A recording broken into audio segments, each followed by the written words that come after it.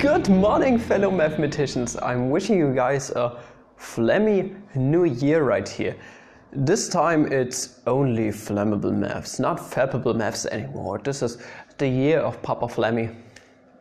Or something like this. And we are going to start off strong this year with the Taylor series expansion of the cosine of x.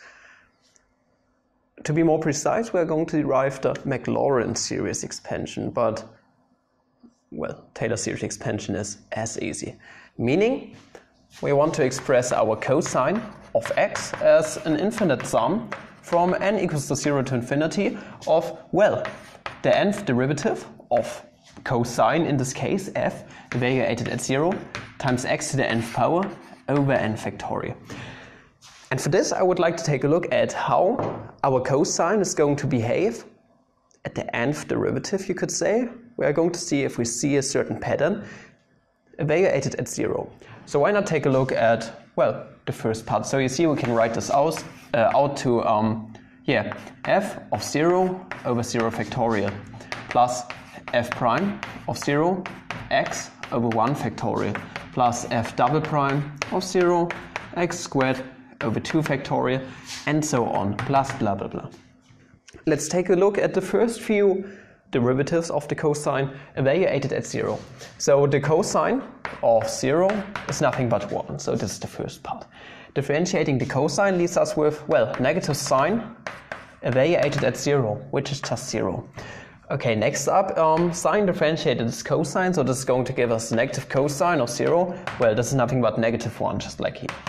And cosine differentiated is negative sine, so this negative negative sine, so this is just the sine of 0, which is just 0.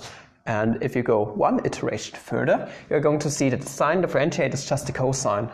So the cosine of 0 is 1. So you see this pattern is going to continue up until infinity, basically. Okay, so you see, this is going to give us an alternating series in the end. It's going to jump between 1 and negative 1 terms all the time. So why not write this out a little bit more? So those are our side notes. F of 0 over 0 factorial is nothing but, well, 1 over 0 factorial. f prime of 0 is nothing but 0, so this term is going to vanish. f double prime of 0, well, this is negative 1, so we have negative x squared over 2 factorial. This next term is an odd term, you could say.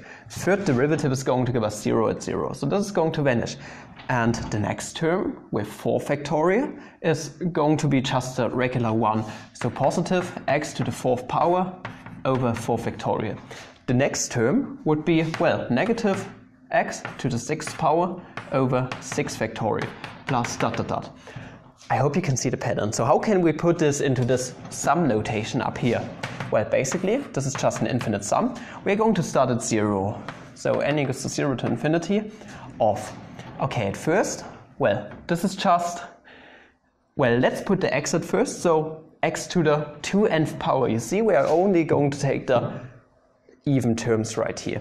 So x to the 2nth power over 2n factorial respectively, where n is out of natural numbers with 0. So 2n factorial. But what do we have to put here? Because the, this right here is an alternating series. So on the first term it's positive. Okay, on the second term it's negative, on the third term it's positive. So on every even term, it's going to be positive, meaning we can just put negative 1 to the nth power here. So negative 1 to the 0th power is just 1, it does fit. Negative 1 to the third power, for example, well, this is this iteration right here is negative 1. So you see this does work out, and this right here is just our Taylor series expansion of the cosine. It's as easy as it is for for such functions, it's really easy to derive their Taylor series. And I hope you did enjoy this little video. If you did, please like and subscribe, recommend channel if you like, and support the channel in various ways. Whatever you do, thank you guys for watching, and up until the next video, have a flammable day, I guess. See ya!